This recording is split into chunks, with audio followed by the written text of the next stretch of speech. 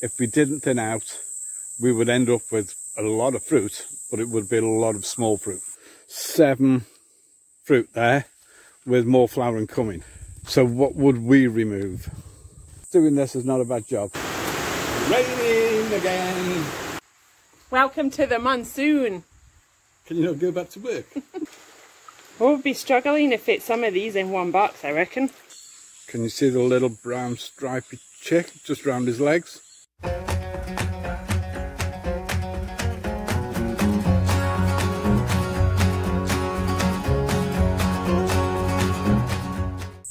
So we haven't actually finished doing the, pruning the jackfruits, but by all accounts the monsoon trough is coming in tomorrow uh, and is in for a few days, so which will mean a lot of rain.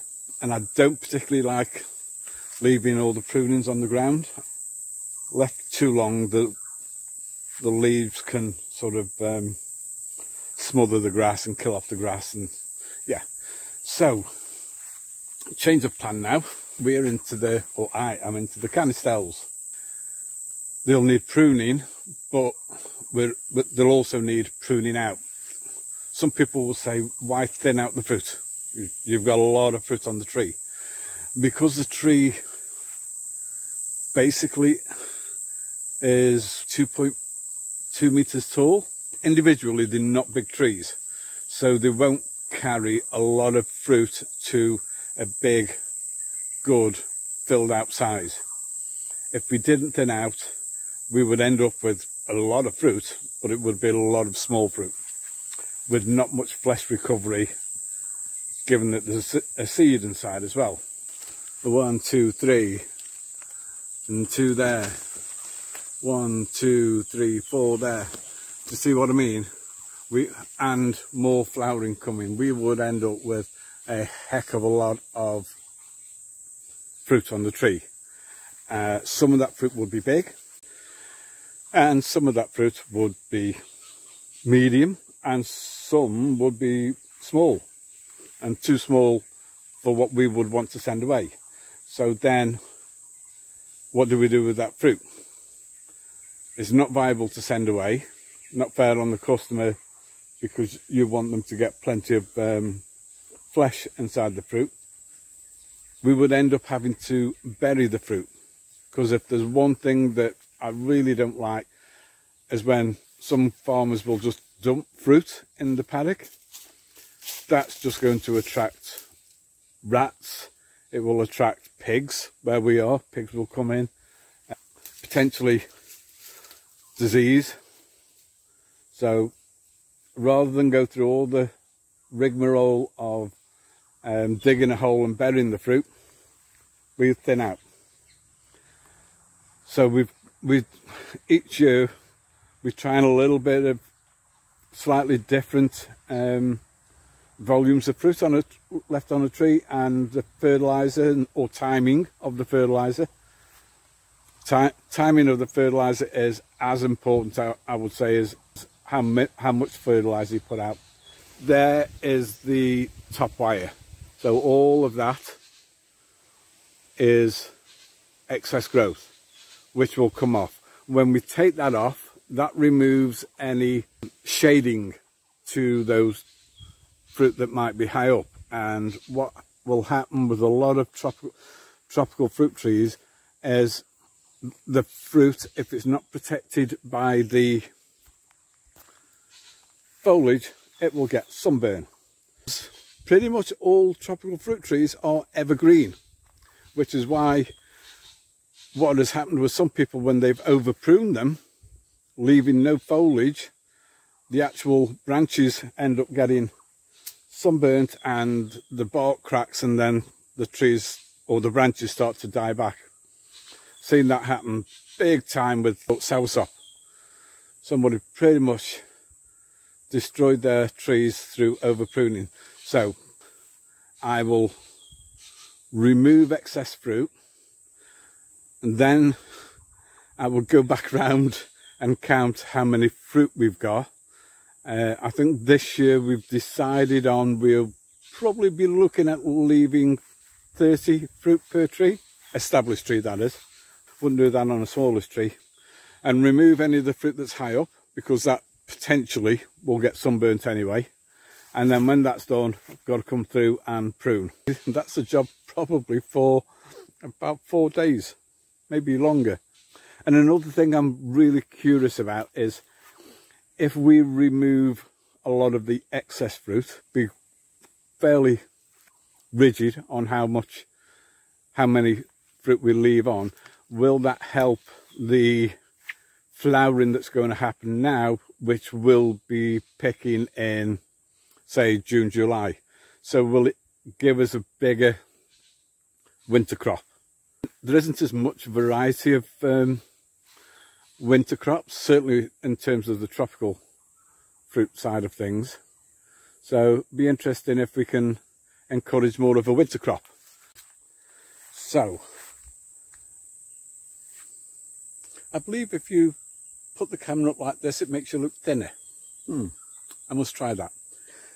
In terms of uh, which fruit we look at removing. Now then, on the end of here, we've got seven fruit there with more flowering coming.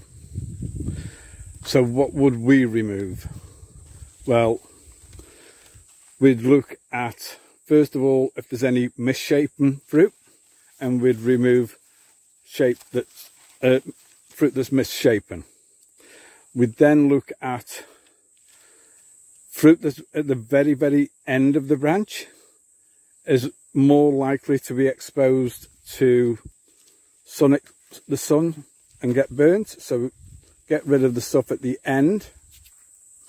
And then let's say we left with these two here. The fruit that's underneath has more potential to be shaded by the foliage. So I'd get rid of that one. So we, we've gone from seven down to one. It's underneath. It's not out at the extreme there where it can get burnt. It looks a good shape. And that's the, that's our thinking anyway. Whether it's right or not, who knows? We, we do try and do these little experiments. We keep quite a, a strict record in how much fertilizer we're putting out and then measure that against what we physically harvest. Well, not just what we harvest in terms of the canistel, but on the sizes as well. Like, we'd prefer to pack a box of, say, 16 big ones than 20 medium ones if we can. Uh, you, you're dealing with Mother Nature, so nothing is perfect, but you try your best. So here we've got four, five. So we're going to remove the ones that are on top that have that potential to get sunburnt. We're going to remove that smallest one, then we've got two of an equal size and I'm going to leave the one that's on the underneath that will get protected by the foliage. Less risk of sunburn. It's a similar thing that we do with the jackfruits as well. Um, because again, we keep our trees small, there's no way that they can carry 20, 30 fruit. Uh, well, they could, they could, but the fruit themselves wouldn't be full, um, stretched and what have you. Again, we leave them for a little while to see that they're well pollinated, especially with the jackfruit, because you can end up with quite misshapen jackfruits if uh, it's not evenly pollinated. Leave them till they're probably, I don't know, maybe a kilo in weight, 20 centimetres long, something like that, to just try and ensure that um, they're well pollinated. And with the canistels here. And if we didn't thin out, to be honest, the trees will, if you leave too many fruitlets on, the trees will shed them anyway. So you might as well, in our, our heads anyway, you might as well go around and pick the ones that you want than risk them shedding ones that were in a really good position and leaving fruit that's then going to be exposed to sun or whatever it might be. It's a job for this time of the year anyway. It's hot and sticky. I'm here between the trees, so I'm shaded somewhat from the sunshine. Doing this is not a bad job. And I've spent 20 minutes so far doing it. Uh, and I'm halfway through this. So 20, 40, just over an hour to do a trellis that's uh, 40 metres long, say. That's both sides. Um, then there's a pruning on top, obviously. One of the things that we are noticing with the um, trellising, this is Canistel. And I pruned them two months ago. I'm going to say that this is two metres worth of growth in two months. I wouldn't class uh, Canistels as being a really vigorous tree. Um, our freestanding tree is fairly calm to be honest. And in fairness, down the sides of these trellises, it is fairly calm, but at the top, yeah, really, really vigorous. So, a metre per month, that's a lot of growth. So, that there is the top wire, which is two, 2.2 metres above ground level. Theoretically, you should only be 20, 30 centimetres above that top wire at any one time. But as you can appreciate, that would be really difficult to maintain. You'd be pruning, if not on a weekly basis, you'd be pruning every two weeks.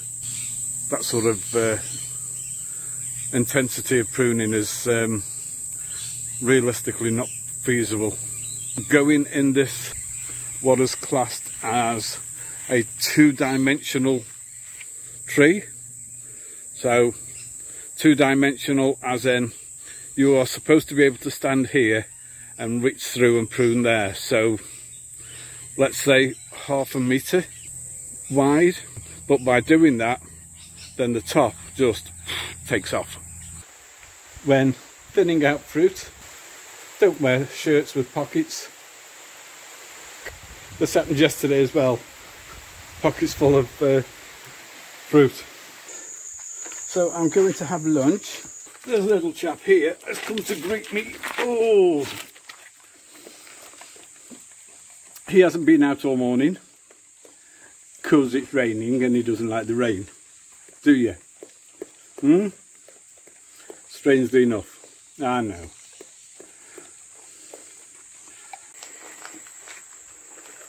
More beautiful jackfruits to send off to market. We got some really big ones this pick. Really good sized jackfruits.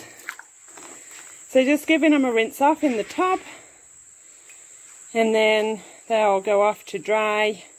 Then into the cold room.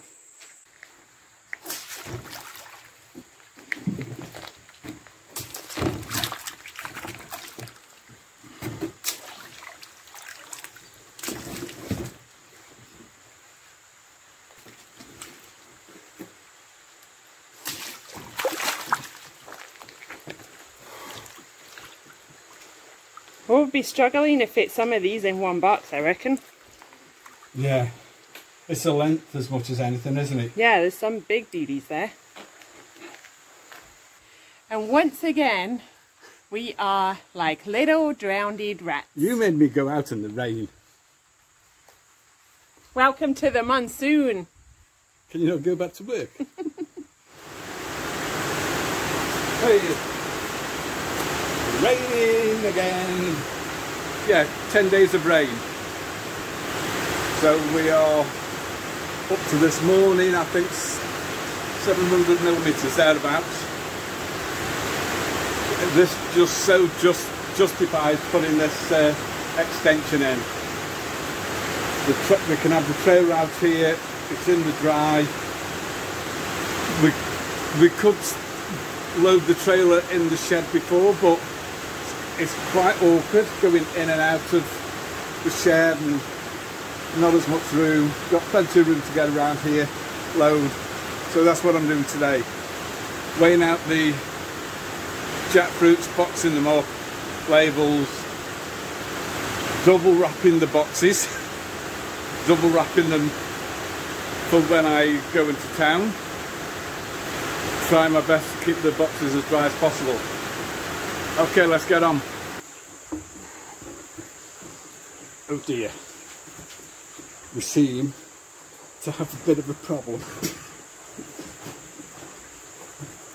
yeah, kind of twisted the box a little bit, but at least it's um, below the line of the top of the box. Just about. We have there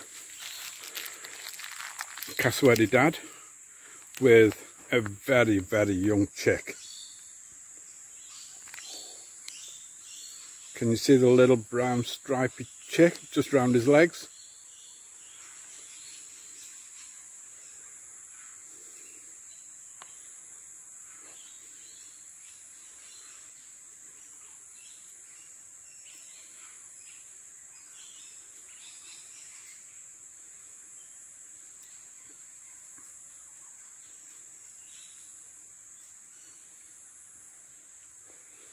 So good to see.